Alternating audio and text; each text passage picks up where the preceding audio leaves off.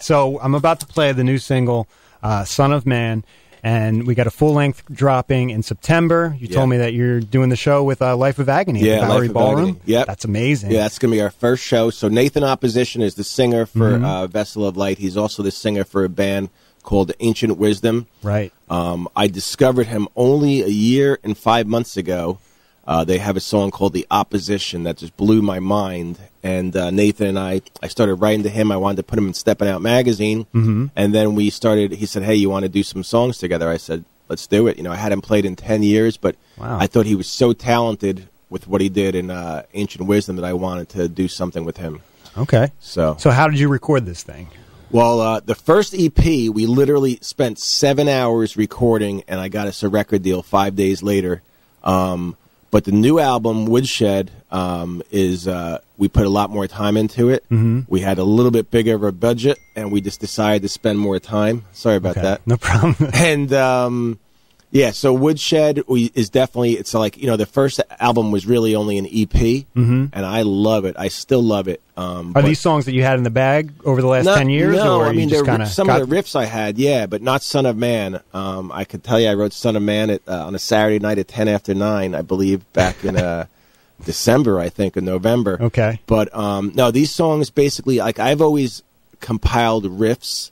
Mm-hmm. Um, I have a little home recording unit, and then I'll give those riffs to whatever singer I'm working with, whether it's Blitz or Nathan Opposition. Okay. And I'll mail them, you know, maybe 10 song ideas that are just one or two riffs, and they'll be like, yo, I like number one, four, six, five, you know. And then you'll then- develop then, it I further? develop, yeah, exactly. Okay. So you got along with Nathan right away. Uh, nice yeah, synergy. Absolutely. Um, and he's a Satanist, and I have a Jesus tattoo.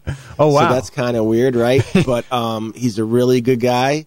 Are you Uh, very religious or? You know, I met the Pope. My wife and I got married in Rome that. Uh, in 1997. I met the Pope, Was that with the the Polka King guy? Pope John Paul, the saint. Who's Yeah. the Polka King? I don't know No, that- that is. Oh, okay. that's- and uh, yeah, I I believe in God and Jesus, and uh, you know, Nathan's a Satanist, which really all it really means is like he doesn't eat animals. How did you and- meet the Pope though?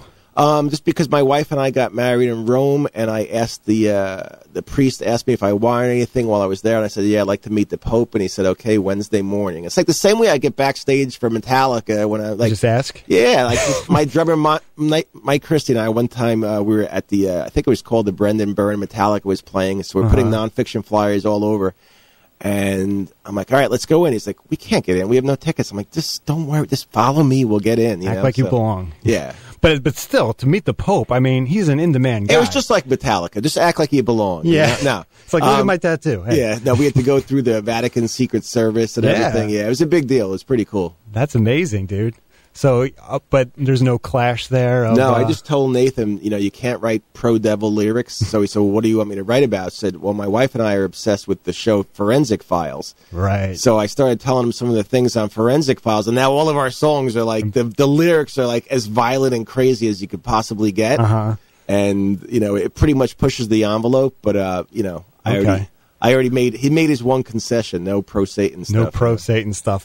Yeah, we got to talk more about because I'm not sure if, if Satanism is that cut and dry. You know what I mean? Like not what I seems- thought it was, for yeah, sure. Yeah, but we'll talk but- after we listen to the new single, which could be about the forensic files. It is, maybe yeah. a particular Vessel of episode. Light, Son of Man.